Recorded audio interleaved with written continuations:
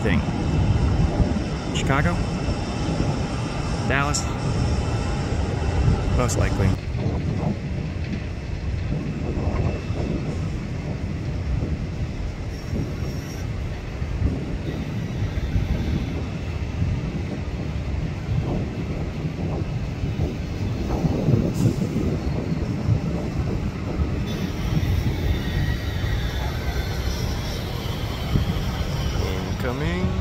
Southwest.